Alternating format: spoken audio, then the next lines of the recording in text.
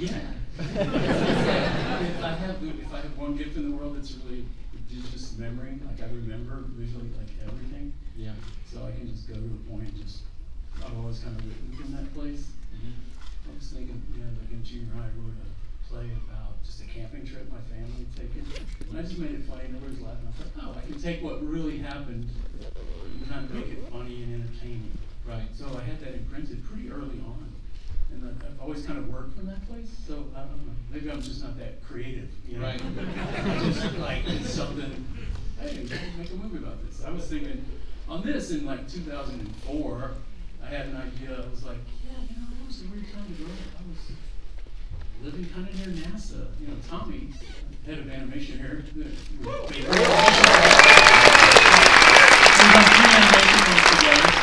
Uh, we went to the same elementary school, years apart. I'm, ol- I'm older, but uh, I was thinking, you know, when we walked on the moon, I was living kind of near NASA, you know, out in the burbs. Uh, we were only out there about 18 months, and I said, well, what an interesting time to be a kid, you know.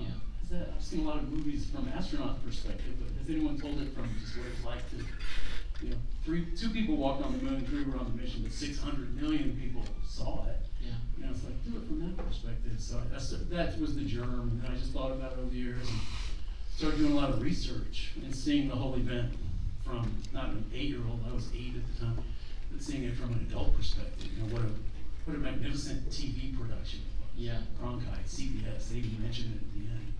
Doing all the research and kind of learning a lot, seeing it, got kind of went down that rabbit hole for a lot of years, and then eventually wrote a script, and then decided the film in my head wasn't working live action. It just felt too literal. So it's like, yeah, no, this should, this should be him. Right. And that's when I got with my buddy here, and we uh, we had been developing this technique over the years and kind of gone to a new level. We didn't want to do what we had done with Scanner and Waking Up. We kind of gone beyond that. But uh, you can jump in anywhere, Tom.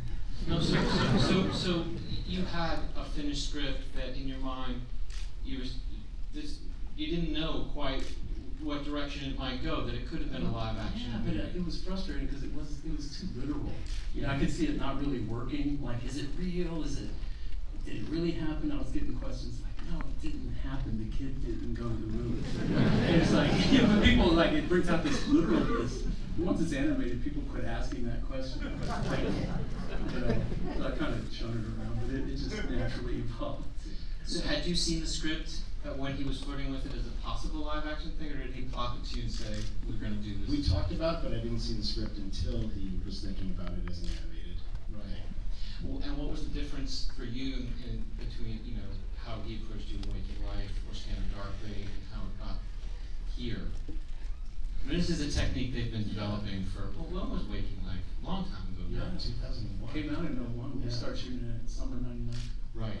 So the better part of 20 years, you guys have been perfecting this. I mean, this is a kind of This is a whole nother, this is really a 2D animated film with the only remnant of what we've done before is probably just the, the scope, Yeah. you know, so lines and even that's. right. Every story demands a different approach to it visually. And, and I think this one, because it was sort of more grand, the other ones were more grounded and real, but because this really was into fantasy and we go from space.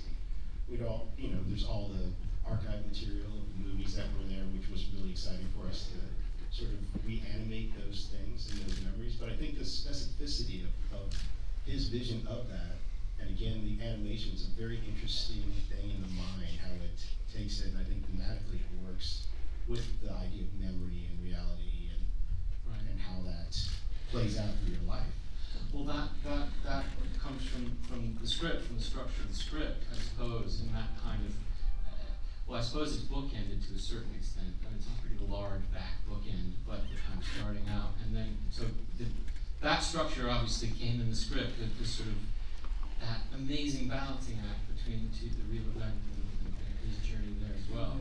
And I thought, you know, in animation, that would be even more wonderfully blurry.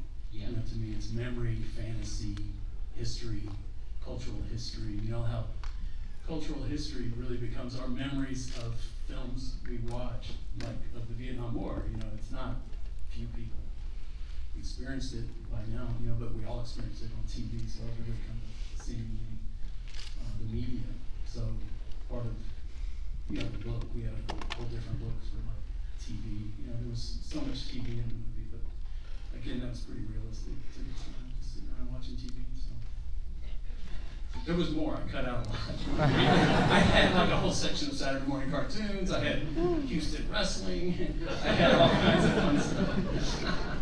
but it is fun. We have a little animation. It's really fun to animate animation, you know, Mhm. and to like animate. Uh, Pretty iconic imagery, Sound of Music 2001, to, Yeah. to like reimagine those things. Yeah. But I think that's kind of what we're doing in our minds, anyways. We remember things. We're kind of doing these constructs. So if you think of 2001 now, you're you're having to kind of remember something, which is kind of reanimating your mind. So I thought, oh, that's a nice place for the film to exist. Kind of want to blow everybody's minds in, in that regard. Right, right. Um, yeah, when I first saw it, I thought, oh, this is such a great structure and an excuse to get a story on the road for all these amazing memories that you have and your ability to do that. Um, so obviously you have access to the memories of your childhood and your family, you growing up the Cheetos with, or the Fritos with the, you know, uh, chili and that kind of, those sorts of details. Um, but how how much did you have to go to the well of research in terms of because the funny thing is it actually fulfills itself as um, uh, I guess science fiction film in a way you know all that NASA stuff seems so genuinely authentic Know, it is. There's not a line from NASA that wasn't original. We got into all the transcripts, all the transmissions, every image. You know, NASA's very generous. They're, they're by far my favorite government agency. they give and give. You make get footage and make films. They don't care. It's public domain. You paid for it. You're a taxpayer. You're great. and uh, you don't have to pay for the footage. It's really great. But uh, yeah, all that is you might recognize a lot of that footage. You know, we just animated uh, a lot of it. So, but yeah, just all, all that. But yeah, you, several years of deep dive research for that and all the TV stuff. And it's not like I remembered all that. Like I said earlier, I remember the the kid perspective, but the more adult, rational thing we were doing required a lot of right research. Yeah. where where where were you when it happened on Yeah, and I, I, true to form, I think I fell asleep. Yeah, but, I, but I saw it. My eyelids was there. But no, we had gone Astroworld that day. It was a tough, and I was just really tired by evening. It was late, and no, I remembered really well. do you remember where you were Tommy I was one, so um, now um, um, um, where should I go next? Um, uh, so just explain for everybody and me again even though I know this it still comes surprising to me every time um, the, the process that you go through. Because there are credits that we see here that we don't normally see in an animated film and I think it's how it results in such great performances such sort of em- emotional performances that you might not normally get in an animated film so I suppose I'm going Yeah. back to casting and, and, the, and, the, and the basic simple steps to how to It's just like any other film. You know, you cast, you, I rehearse a lot, and you know, we form this family. We, we just, you know, we shot it in 20 days on a, in a green screen environment, which was kind of um, a little mind numbing after about three days. you're just like, oh, we're here. You know, most location shoots every day you're at a new location, or maybe a week. I cannot see you on a. Yeah, I thought, what am I doing here? A Marvel movie or something? Every shot in the movie is is a special effect, you know, with the little round mirror ball kind of thing. It's like, oh gosh, and we were pre-visiting it on the, um, side, but the, the cool thing is, it was all like make-believe. You didn't really, I mean, like we're at a drive-in or something Right.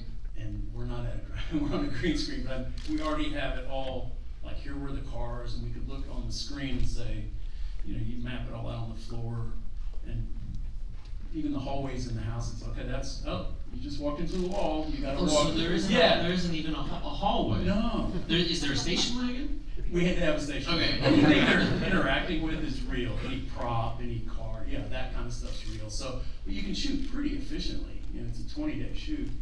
So, uh, and it's fun, it's kind of like I said, make believe, but you can shoot you know, a lot of takes, whatever you gotta, you gotta do, the kids had a lot of fun with that.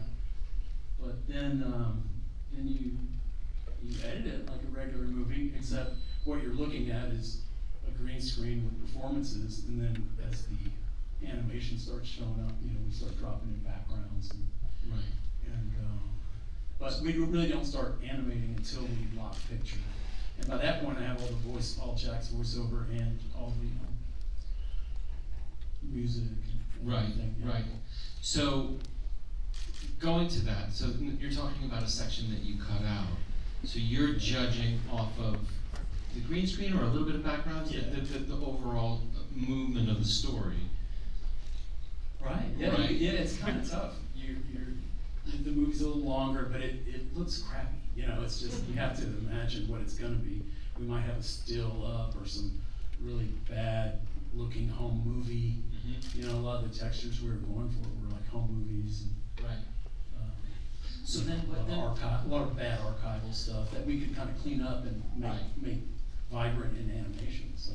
but then where do you, um, so, but then when stuff starts to come back to you, you're used to a performance of a real person's face, which I imagine you must become very attached to at a certain Yeah. point. When does that, how does the interaction happen between the two of you and, and- and this team that you have where something is either lost in translation, or how do you navigate the waters of, of, you know, bringing the performance to life? Well, you know, I've got, you know, I, I couldn't wait for them to be animated. You know, they, they, you know, just, you just know that's what they're going for. We've done a lot of, uh, you spend time during the design, so you kind of know what you're going for, what each character. We're trying to do as much, much as we can with as little as, as possible, in a, in a way. So, with that, how many weeks in, like a year and whatever, we just, Yeah, just a was little over. during the pandemic, we were just on the, Oh, really? on the computer every day, just, you know, and at that point, I'm just going, yes, no, that baseball wouldn't bounce that way, you know, I'm just kind of orchestrating, like, and explaining to a lot of people in Amsterdam, like, Little League Baseball. I have no idea, I have no idea what a lot of this stuff is. And then I'm the old guy in the room, I'm trying to explain, no, this is, you know, like, everybody's the generation younger. Rotary phone, what Yeah, exactly, so I'm trying to obsessively get every detail right. Right. And it's, it's, but it's, it's really, it was fun, and it was a fun film to be working on during a miserable time in our, in our lives, you know, during the whole pandemic, so we were very lucky, we wrapped the live action shoot about three days before the whole thing shut down.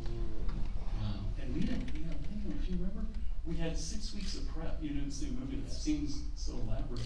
But I told my production designer, Bruce Curtis, I said, good news, bad news. Bad, bad news is we started shooting in six weeks, and we're just, you know, starting now. Like, we would be crazy for a real movie. I said, the good news is we don't have to really build anything, we just have to design it all. And so we just needed it to be, you know, a computer, so. It worked, but thank God we, we, we were getting kicked out of our green screen at a certain date, so we back in. It, it was great. Netflix said yes, and we went, and we were very fortunate. I I, think you, your question about the performance, and Rick, I think that, you know, because it's based on live action performance, you have to honor that. And the whole goal is, if you don't capture that and elevate it in some way, then why would you animate it at all? So really, the, the time and the effort was really put into that character animation, and, and really like eighty percent of it's right here. You know, it's all in the eyes. I, I, one of the, the moments I noticed most was, um, the, the, just not just that his eyes were red coming out of the pool, it was the exact right red, you know? Like growing up at that time, it was like, my, made my eyes sting. And that kind of clued me into just how hard that kind of thing might be to get right. That's the kind of thing that you could get hung up on forever trying to get right, but Yeah, like every part of that's trying to, I, I go back to the shooting of it, we just had, a screen open, like, come up like you're coming out of the pool and your eyes are stinging. Go. I never experienced that in life, you know? Wow, well, I thought about this movie completely differently. I, I kind of imagined you out at a pool shooting it and having to erase stuff and then just sort of, I, I I thought we were gonna do stuff, but, but like, at the end of the day, we didn't get it right, Like, we couldn't shoot the pool, and they wouldn't have us, or we're like, screw it, we'll just do it all. Even when he's getting pulled from the undertow, Yeah. we had him on a little pulley, and we had a shirt back, rollers on it, little Oh, stunts, you know, Right. I mean, because a movie like this, if this had been a real movie, if this had been, you know, um, I mean, that's like, what, a hundred million dollar movie? Yeah, I think it's Eighty probably to eighty? eighty to hundred, which I don't think I would have gotten. No one's gonna be watching a family sitting around watching TV. Isn't that exciting? Or you know, a trip to the moon. Um, yeah, I, don't, I would have never gotten too far with that anyway. Yeah. So, Well, how did you, practical level. how did you find your boy? Oh, He's terrific. I mean, they all are, all the Yeah, all the four young youngest siblings had never been in a movie before, but the older siblings had, and the parents are yeah, they're they're like professional actors. But the kids, we just kind of put out a pretty open call for kids who come in, and probably had the most fun callback in film history because we just had games and bikes and. You know, kids were playing kickball, and they didn't really they forgot they were being evaluated because I'm saying, "Can I kid throw?" You can. I was just eliminating kids left and right. Skill sets in that kid. Can't ride a bike. Yeah, I can't do it. And They were all people who had given good auditions, but it was kind of seeing how they did. So you were like the little league coach throwing. Yeah, yeah, I was the guy using, but what I liked about Milo is we didn't really know how it goes between him and a couple other kids who were technically probably even better actors, but they were, I just liked his unflappability. As kids start disappearing, other kids were realizing, oh, this is final callbacks, you know? Right. And he didn't care. he just, and I said, that's what I wanted. Don't you, we all hate like the two cute kids who were too solicitous of adult, you know, Yeah. you know, response and everything. So he just didn't really care much, you know. So I, I really like that. I need you. Throw the money down. Yeah, okay. he was like that the whole way. He never, he never. And, you know, I never even told him. You know, this whole movie rides on your old nine-year-old self. But uh, I never. You know, he was just truly unflappable. But he had that quality, and he was a smart kid, and was just a good enough athlete. You know, he was just good enough at all that stuff. To, I don't know, kind of a leap of faith. But Right. He's terrific. great kid. He's already grown about that much. yeah, you would recognize him. So did you have to tell him about the, uh, how did, how did you enter him into this world? Um, you know, rotary, here's a rotary, this is a rotary Yeah. phone. This is the. We did it with all. The, we'd have props and in rehearsals. In rehearsals. And also about that, teaching them, yeah. you know, kids today that some of them can't even ride bikes, or you know, their parents won't let them get out of their sight, so you can't ride a bike in the neighborhood or you know whatever. So um, yeah, just getting the skill set that would be required to look natural doing some of the stuff, uh, repairing a bike tire, changing a tire, all that kind of crap. It was just kind of fun, but was, that's when I felt like, oh yeah, a different generation that's going on. And, Yeah, I mean, my experience with kids that hand, handball, handball rules and kickball rules have changed dramatically. I mean, you don't really see that much kickball anymore, which no, I, which is Yeah. a shame. It was a great. Well, I even the transition I show in the very first scene that, that you couldn't throw the ball at the kids anymore. Yeah. So you might hurt somebody. Yeah. Damn, that was the end of the game. Hadn't been the same since. But uh, I, I think Mr. St. George, our coach, who did have that sadistic put your nose in the thing, I he's probably still alive somewhere. I'm hoping he sees the movie. Gives me a call. Were you using the real names from your memory? I Were you able to do you know, that? you're not supposed to do that. I've learned to like, you know, switch it up a little bit. But uh, no, you, sometimes you just do a calculation. You go, eh, you know, by the time you're doing it, it's all. Right. You just lie to Netflix and say, "Has this been cleared?" Like, yeah, it's fine. though, you know, it clears. Well, let's talk about that actually. This is, if NASA's your favorite government agency, who's your least favorite? Uh, yeah, legal clearances. How was the Walt Disney on everything? nice that you mentioned that. You know, there's this thing. In, speaking of legal clearance, called uh, fair use. that if you're actually talking about something, maybe culturally critiquing it or satirizing it, uh, law says you can kind of use it. So we we got on that pretty early. I put the, you know, Tinkerbell flying off. Can we uh, do that? And then, yeah, we had a good good lawyer who came back. Yeah. Can we do that? Can we use 2001? Yeah, since you're talking about it. We didn't have to, I hope there's no copyright holders. Descendants of copyright holders. And, and we got to do that with uh, some songs too. That little montage where you, all the songs that are named after girls in Yeah. this class. Uh, we didn't clear most of those. but we did clear the Johnny Cash because we used it a little differently. But uh, yeah, it's amazing what you could uh, get away with if you. I think like a whole movie with songs that you're either talking about or critiquing. you could just fill a whole movie with fair use uh, things. But this is my. Usually that's just the killer, right? You're making Absolutely. movies like you can't use that, or if you do, it's a quarter of a million dollars. Yeah. But uh, this was like felt, felt like a little payback of 30 years of just getting killed. it was like no, we're- we did pretty well. Well, it, it's it's what the movie depends on is all the details, the absolute commitment to all the details. And once you hear one thing, you have to hear all the rest. And all these memories just keep cascading for any of us alive anywhere near that time. It makes the film so special. So, so, so Tommy, are you do you you're running day to day? Once he's shot, he sits and waits for you to keep coming, feed stuff back. How does how does the how does the collaboration Tommy's work? on the set, you know, we're, Yeah. he would even come over to me, I'm doing a camera move, goes, if you do that camera move, that'll cost us about an extra month. If you do that, I was like, oh, okay, you know, was in my ear. Um, yeah, I mean, it's, it's sort of weird because there's a design process. We actually started after we, we filmed the reference part of it, which usually do all that beforehand. But sort of put through and everybody kind of understood what the story was, because it's, it, the story, it's a different story than most films, right? So even on script to that, it, it, it sort of changed its meaning. And so we were able to really construct the animation and look around the story in a very profound way. Right. Um, and then it starts out very slow, sort of backgrounds, style frames, things like that, and then it just starts to build, it becomes a machine, and it just builds up, so. We're starting out very slowly, but then after a couple of months, it's just a machine. Right. Going through that, and it's just a lot of moving parts, you know, like I'm, I was the specifics. and it was- Slow moving He parts, had yeah. the, the grand vision of it. Right.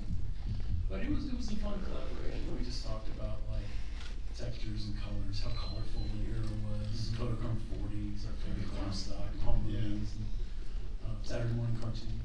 You know, And we also- referenced. And also like, how do we, you know, like Galveston, the first thing that Rick said was like, that's too pretty. You know, so then we had this idea like, well, what is it? It's memory. Is it, we're not really representing Galveston as it is, but we're representing Galveston as we thought it was when we were kids, you know? Yeah, so it's a little heightened. Right. A lot of that, some color palette. So what was the biggest challenge then, in terms of, of, of a sequence or a scene or something that just became, inevitably in a film, there's that one thing, like banging your head against the the wall. Small things. It It was was the like the small- Frito pie that you're talking about, Yeah. you know, it was like the frozen. The ice on Yeah, the the- bologna yeah. sandwich. Yeah, I noticed the ice That on was the like, plate. God, that does not look, that looks like mold. I was just sending it back. I was that picky uh, patron sending back their food to get. I just did that. Well, you got it right, because it really did Months. look like that, just that right texture of Food, food was the hardest thing. Food, yeah, food was tough. A lot of food. And uh, Jello. And sometimes, yeah, get the jiggle ride. in the jiggle. It was fun. Um, the Alpine sleigh ride though at Astroworld. I thought that was easier than I thought it was so I we could could sit sit forever. Yeah. Yeah, the tunnels, we have less reference for that. Is Astroworld still, still there? No, no, another, that does put us to a hundred million to recreate Astroworld. No, they tore it down, it's across this, the freeway from the Astrodome, that's barely still standing.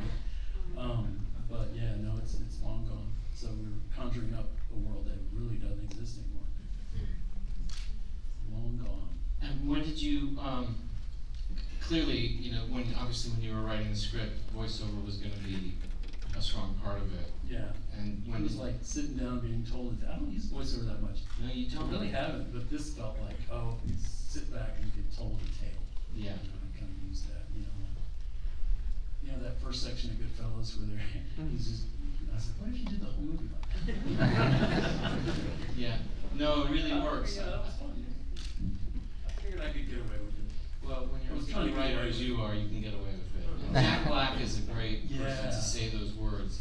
You I really know. can kind of make things feel like it's coming out of his head. And you know? funny, and he just has that great spirit to it. Yeah, he was, he was so fun to work with on this. You know. uh, he's a, he's just the best. Yeah. He's really great. So, yeah, I felt, I guess we felt like we were getting away with it the whole time. You know, a lot of things. Um, are you gonna do another one of these? Animated film. Uh, We always say no. I know, then years go by and there'll be a film like, oh, it doesn't work live action. Maybe it's, it's an animated, yeah, maybe. Who knows, nothing, nothing immediate. Definitely takes some recovery time.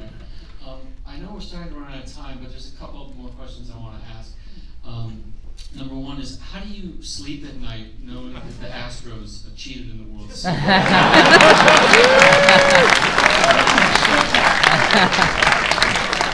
Are you talking about this last World Series? Were you around in October, November of this year? No, we're talking about the Dodgers. Oh, the Dodgers weren't in the World Series this year. were they?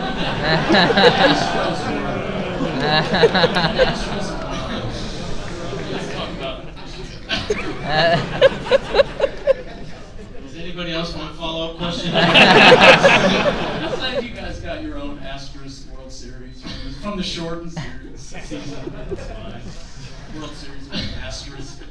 Are you looking forward to your team next year being in the World Series? Do you want to make a prediction this year about how your team's going to do? Bring it, man. Astros are good. The Astros of the era depicted in here were terrible. Okay, we deserve. I mean, it's you know, I, I'm a 50 year. I was at the Astrodome when it opened as a little kid. Yeah. They never. They were a terrible franchise for so many years. Please give. You know, you know they've been good the last eight years. They have. It's true. You you maybe you know. Um, I do remember my first introduction to the Astrodome was in Bad News Bears. Breaking Training. Breaking Training. Like Bruce, yeah, you probably saw that before you saw Brewster McCloud. I, I didn't hadn't seen Brewster McCloud. I was too young. That's the ultimate movie. And that was the year it no a couple years three yeah, or four it years. in '65. Brewster McCloud's uh, Early 70. seventy. Yeah. Yeah. Do you, uh, so you, when were you there? When were you right that, that you're talking about an eighteen month window that is right at this time? Oh, I, we moved around Houston a lot. I was out in the suburbs only for a little while. But I lived for a while right near the Astrodome. My parents would just drop us off at 5 p.m. as a babysitter just to get rid of us. And we could, 50 cents, we'd go to center field seats and sneak, because it was empty, no one was at the game, so we'd sneak down to the, you know, wherever you wanted to sit, chase foul balls and get broken bats. You know, it was just great. It was our babysitter. So I kind of grew up in the summers. We were there just all the time. And that triple feature is a real triple feature, isn't it? The countdown. Absolutely. That's the Altman countdown, right? Really, Altman. Good Yeah, one. with No Robert no Duvall. mentioned that. Yeah, it's, Yeah. it's Altman before he was Altman. Absolutely. Yeah. It's TV Altman. Yeah, it's like the last Square Altman Altman. film. Yeah, and I didn't know that for years. I remember those three films, and that was '68 actually. And then um, years later, I guess when I became kind of more film literate, I was looking at all this. Oh, Countdown! I remember that. Yeah. So anyway, it was kind of fun shout It's out. such a good triple bill. Countdown. What's the second one with the Nazi? Frozen Dead. Frozen Dead and It. It. Yeah. Roddy McDowall. And, and none of these films are seen, you know, so it's funny how in your mind, like some of the obscure TV shows, you don't really know what's gonna end up a classic I mean, but Planet of the Apes and 2001 were playing at the same time. Yeah. You know, and in, in the everything's pretty exact. You know, like those four films were playing at the drive-in Right. at that night. You know, that Janis Joplin on TV. If you look at your, you got a TV guide, that's what's on. That Beverly Hillbillies, that was that day. You know, might as well And get it's it. Susan, is it Susan Sontag? Uh, who's, who's, uh, no, it's Gloria it's, uh, Steinem. Gloria Steinem, that's Yeah. right. Gloria, and who's the guy, who's the uh, fellow? Messenger, uh, Ira Messenger, or something. He's Right. another radical Right, person. yeah. But you got to hand it to him.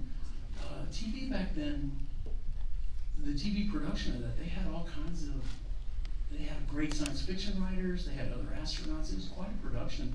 They invited on these dissident voices, people who, who were against the program. That's what surprised me as an adult, looking, kind of informing myself about it more.